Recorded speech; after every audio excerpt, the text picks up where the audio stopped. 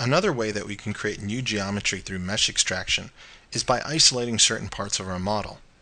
To do this, I'm going to hold down Control and Shift. I'll start clicking in an empty area, and then make a selection over my model. Let's just isolate the skull of this character. Now that I just have the skull showing, again I'll go down in my subtool palette to the Extract button.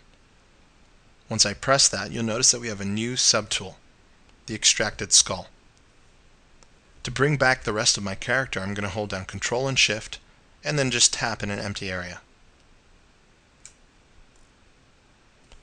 Now that we have our new subtool created, I can select it here in my subtool palette, and you can start sculpting.